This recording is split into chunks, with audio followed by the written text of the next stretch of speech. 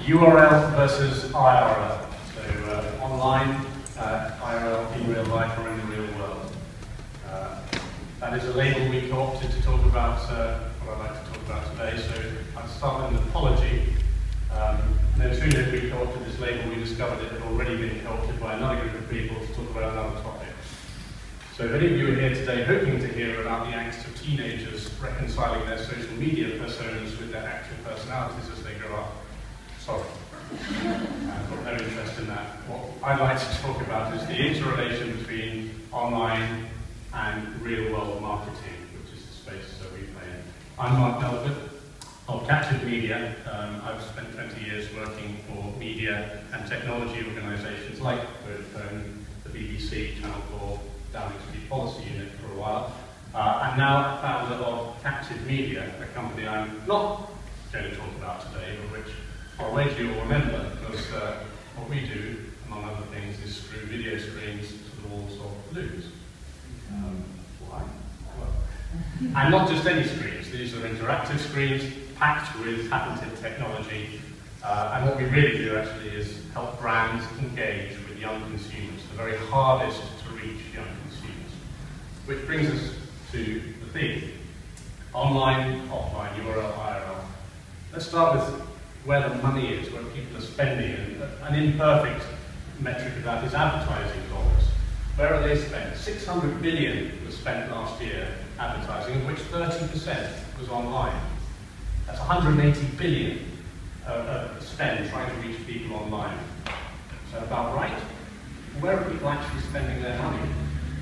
Retail spend last year was around 22 trillion, of which less than 6% was actually spent online. So despite all the hue and cry around e-commerce, and this was growing very fast, actually 94% of what we spend is still spent in shops in the traditional way.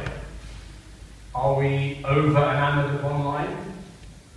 Maybe. In fact, that's, a, that's another topic uh, one perhaps for a different room than this. Um, but the reason we do it is because, of course, we believe that online influences the path to purchase, so people who search a product online buy it offline in the real world. And according to the traditional marketing funnel, you will know from awareness to loyalty. And this is especially true for products more high involvement purchases like cars or holidays, where people research it online. But it cuts both ways. Um, how many of you have seen a dress in a shop and rushed home to see how much it costs and buy it online? I know I have. Correctly. Um, uh, so of course this purchasing funnel is no longer a funnel, it's a French horn, uh, metaphorically, with many influences along that path to purchase, going backwards and forwards between online and offline. And wouldn't it be nice if we could unpick that a little and understand what influences, be they online or offline, were more important. Well, there's some great research, we think, launched a little fanfare at Cannes last year by Ogilvy and Google, which does unpick consumers' top 10 influences. Uh, and here they are. Uh, online and offline. Green is online, blue is real world. And look at what they are. Number one, this is two and a half thousand people surveyed over six months, product categories ranging from cars to beauty products word of mouth, very much real world. Uh, online here, six of the ten are online, and it's things like YouTube, how-to videos, there's Twitter. Don't look at search here, it's in the top 10. This isn't even paid search, but it's, it's number 10 of the top 10. And as for online display advertising, I mean, it's nowhere. So much for that 180 billion of ad spend we had a moment ago. Um, but number one, word of mouth. Number two here, in-store. In-store. Consumers change their mind or make the purchase decision in-store. a brilliant example of that last week on a huge scale. This is Peter Kellner at YouGov peddling backwards furiously uh, on the election. And as any pollster will tell you, the voter may change their mind in the polling booth. Um, in fact, that is a fact The percentage of purchase decisions made in store, 40% according to McKinsey. And it varies across product categories. It's actually 70% according to OgilvyAction.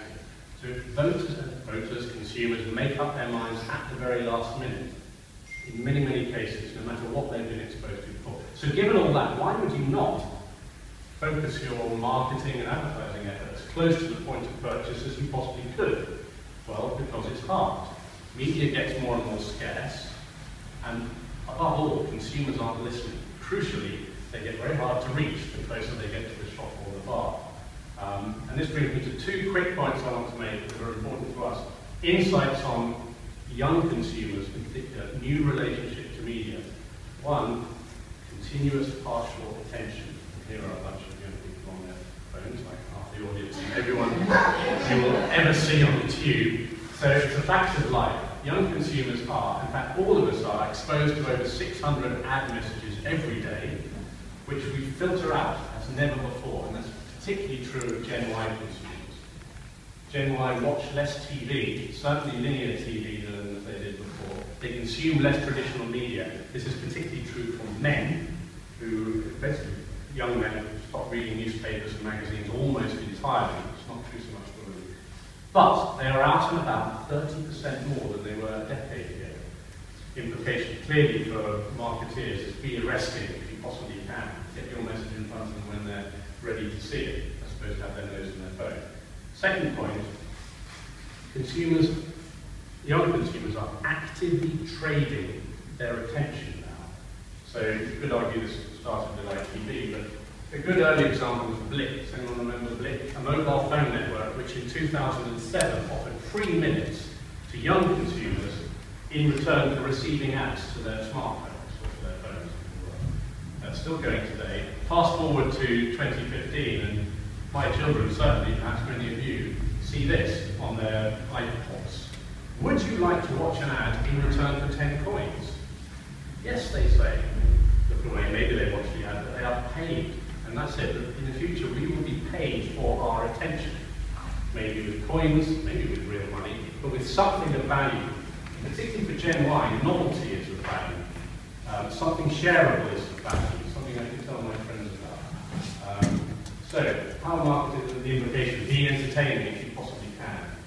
Am I doing for time? I've got two quick examples of this uh, to share with you. One is almost this is what I think a lot of marketers would like to happen.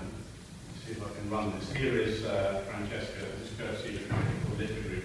There she is shopping, up pops um, a relevant ad to her for a bag, and crucially, at the very same time, there on her phone is a voucher. And it pops up there and there. All oh, she thinks, I've only got 20 minutes to spend it, and then she goes to the shop. Does that ever happen? To anybody in this room? If anybody has actually seen this work, please come tell me afterwards. I'd love to know about it. We, I mean, in our industry, many people are trying this, but the technology isn't quite there. More practically, the other response of marketeers is you will see more online media coming into the offline world, the real world. So these digital screens, which I'm sure you've seen, replacing paper ones at the roadside, bus shelters, elevators. Um, this enables some of the benefits of online, measurability, flexibility, to actually reach people, this is a good example, when they are a captive audience. And I will just leave you with uh, one example from captive media, unashamedly, and then back to the general election. This is something we did during the general election.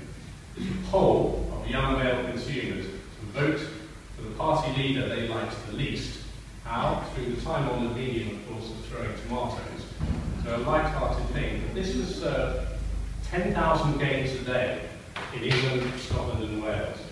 Um, and those results were collated. It was all in, uh, in support of Anthony Nolan, the cancer charity. So with half a million tomatoes thrown, we had a view of the general election result. Did we get it right? I will tell you afterwards. Or, if you would like to come and see this technology yourself, it's installed at Hoxton 7, where we have an open event next Thursday from 1 till 6. Come and have a drink, talk more about this topic, or even see those remarkable units, or alternatively, the Blueberry Bar just south So thanks very much. I didn't get the bell.